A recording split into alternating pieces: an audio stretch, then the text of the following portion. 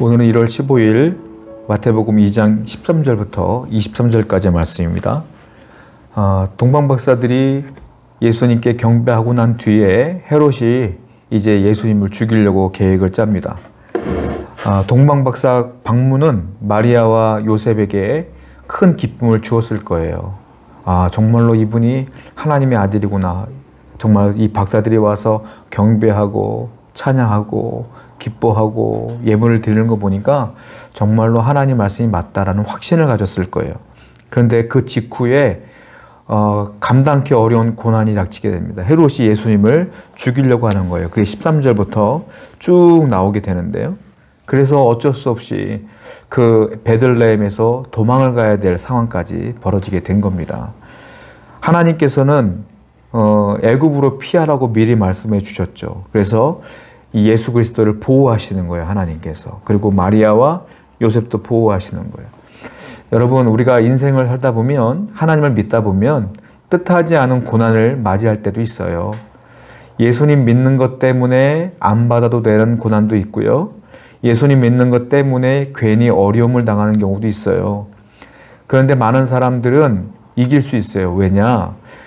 이와 같이 예수 그리스도를 보호하시며 마리아와 요셉을 보호하신 하나님께서 당신의 자녀들, 지금 예수님을 믿고 하나님을 믿는 성도들을 여전히 똑같이 보호하시기 때문에 그래요. 하나님은 저와 여러분들을 보호하시는 하나님이셔요. 그 하나님을 신뢰하며 끝까지 믿으며 여러분들의 고난과 어려움을 극복해 내시기를 바랍니다. 16절 말씀 보면 헤롯이 또 나오는데 헤롯이 박사들에게 속은 줄을 알고 심히 노했다 써 있어요. 그래서 베들레헴과 그 모든 지경 안에 있는 산의 아이를 박사들에게 자세히 알아본 그때를 기준하여 두 살부터 그 아래로 다 죽였다. 이렇게 써 있어요. 두 살 아이들을 다 죽인 거예요. 아래 아이들을. 헤롯이 진짜 이름이 별명이 있는데요. 헤롯을 여기에 나온 헤롯 왕을 뭐라고 말했냐면 헤롯 대왕이라고 불렀어요. 그만큼 권력이 막강했기 때문에 강력한 왕권을 쥐고 있었기 때문에 헤롯 대왕이라고 불렀거든요. 그런데 이 헤롯 대왕이요 누구를 두려워하느냐면 방금 태어난 아기를 두려워해요. 그 아기가 왕이 될까봐 두려워해요. 내가 왕위에서 물러날까봐 두려워해요. 그래서 어떻게 되느냐? 자기의 권력을 유지하기 위해서 인간이 해서는 안 될 악조차 서슴치 않고 하는데 그게 얼마나 악한 거냐면 애기들을 다 죽이는 거예요. 남자 아기들을. 아기들을 다 죽여요. 인간이 얼마나 약한지 나와요. 인간이 얼마나 약한 존재이며 얼마나 감정적인 존재이며 얼마나 완악한 존재인지가 극명하게 드러나는 거예요. 자기의 왕권을 위해서는 수많은 사람들을 어린아이들까지도 서슴치 않게 죽이려고 하는 게 인간이다. 인간이 악함이 여기서 바로 등장을 하게 되는 거죠. 그런데요, 17절과 18절을 보니까 이미 이 사건이 구약 성경을 통해서 미리 예언된 사건인 거예요. 17절과 18절을 보면 이에 선지자 예레미야를 통하여 말씀하신 바 라마에서 슬퍼하며 크게 통곡하는 소리가 들리니 라헬이 그 자식을 위하여 애국하는 것이라 그가 자식이 없으므로 위로받기를 거절하여도 다함이 이루어졌느니라 이 학살이 벌어질 것을 이미 예레미야 선지자를 통해서 말씀하신 거다. 이 말은 무슨 말이냐? 하나님은 헤롯이 이와 같은 짓을 할 것을 이미 미리 알고 있었다라는 거예요. 예수님이 탄생했을 때 이런 일이 벌어질 걸 미리 알았다라는 거예요. 하나님은 어떤 분일까요? 미리 아시는 분이셔요. 그러니까 이 세상에 되어지는 모든 역사와 모든 일들은 하나님이 모르는 일이 하나도 없는 거예요. 여러분들의 인생 가운데 되어지는 모든 일들 하나님이 모르실 일이 하나도 없어요.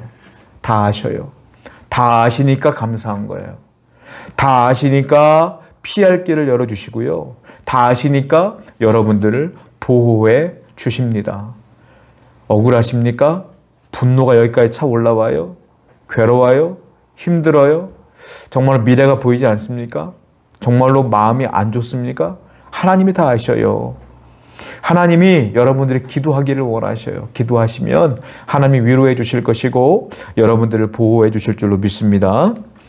자, 요셉과 마리아는 뜻하지 않게 고난을 받아요. 아니 아기를 낳았는데 이 아기 때문에 이런 엄청난 고난을 받아요.